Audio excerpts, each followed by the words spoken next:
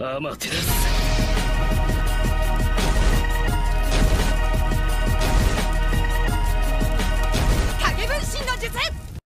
Alright, here's everything we know so far with the trailer and the new demo of Naruto Storm 4 Road to Boruto. Firstly, I want to go on and just say new combos. Yes, we have seen Boruto from the trailer and Sasuke from the demo with new movesets, new jutsus, and new ultimate.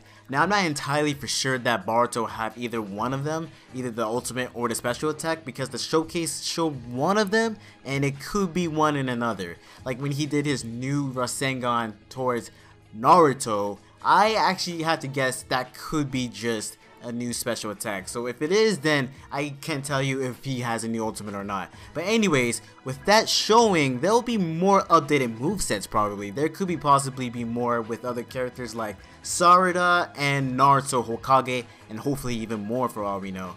I mean, come on, as for Naruto, his awakening made him turn back 5 years younger for Fox 6. So hopefully when he awakens again in his Naruto Hokage outfit, he would actually have the cape and everything, etc. And ho hopefully probably a new moveset too. The next is the Naruto and Sasuke as characters. Notice if you pay attention to their voices, it's a bit more deeper and matured. In Storm 4, I presume the Naruto and Sasuke from the last and the Boruto model, they still have their same old Shippuden teenage voice. The next is also the character versus art. It's different from Sasuke, so it could be for others too, like again, like I mentioned earlier, Boruto, Sarada, uh, Naruto, and maybe either more. Anyways, I know that doesn't seem like much of an important thing to know, but me personally, I kind of like to always update the character model art.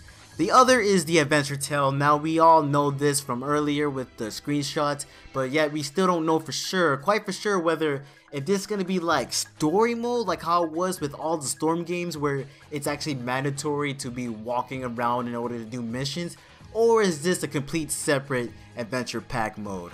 Which I hope that's not it. Shit. And last but not least, we can already confirm the two new stages, which is the new Konoha Village and that Snowy Palace. Let's hope is no goddamn stage lock content where you only play it in the story mode only. For more info as in how many more characters, costume stages, movesets and more, we just may have to wait as the time goes by when we get to February. Think of it like how your YouTubers will always give you news update throughout the pre-releases in Storm 3, Revolution, Storm 4, etc. But this is all for just a big, and I mean big, expansion pack DLC instead of a new game. Road to Boruto will drop in February 2nd, 2016 in Japan, February 3rd, 2017 in Europe, and February 7th. FUCK!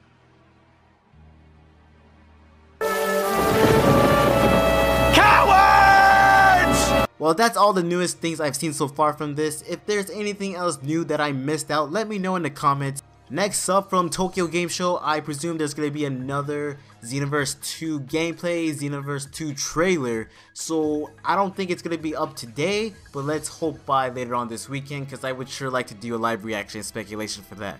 If we can at least get like 10 likes or whatever the fuck, I'll do the same thing like I did for Storm 4 today, but in Xenoverse 2. But anyways, thank you guys for watching this. If you enjoyed this, give me a thumbs up, and if you're new, feel free to subscribe. This is Gillsenzu, and as again, I'll see you guys next time.